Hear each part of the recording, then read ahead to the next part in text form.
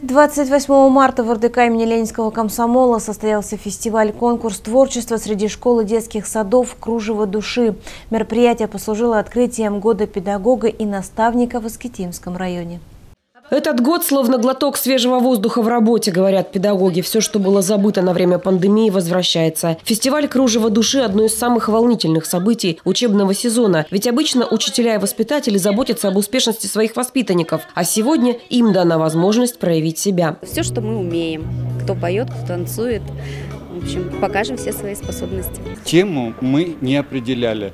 А, ну, для того, чтобы сильно не озадачивать творческие коллективы, но все-таки а, мы определили ту цель, которую поставил президент. Год а, педагога и наставника. Перед выходом первой творческой группы на сцену к участникам конкурса обратился заместитель главы по социальным вопросам Борис Шпека. Он отметил, что педагог – это не только источник знаний. Мало обучить теореме Пифагора или законам термодинамики. Важно быть творческим человеком. У каждого педагога внутри, в душе есть что-то кто-то бисером плетет, кто-то картины рисует, кто-то на гитаре играет.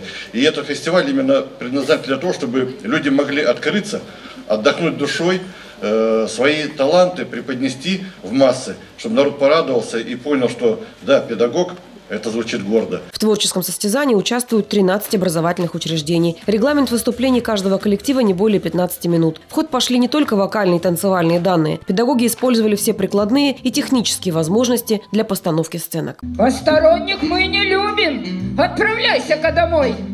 Что же сразу вы хамите? Вы ж не знаете меня. Лучше чаем угостите. Заблудилась нынче я. Все участники поддерживали друг друга аплодисментами. Среди школ первое место получил коллектив Леневской школы номер 4. Среди детских садов победителем признан коллектив «Жаворонка» из рабочего поселка Ленева.